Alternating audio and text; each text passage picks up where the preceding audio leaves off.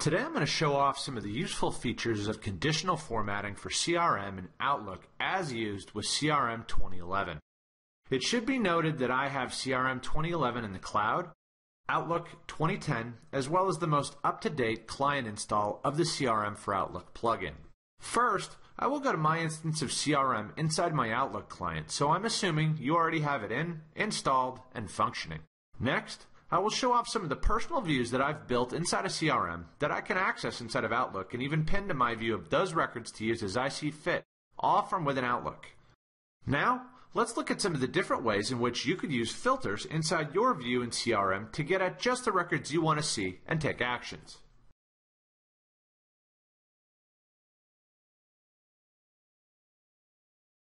Finally, I will show off, by looking at opportunities, how to use true conditional formatting inside a CRM for Outlook.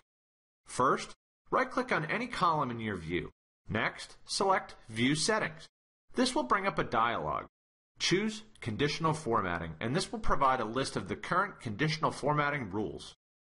Click Add, and feel free to adjust the font for this new rule.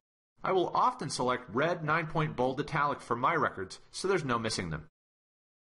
Once you've selected your font, click Condition, followed by Advanced.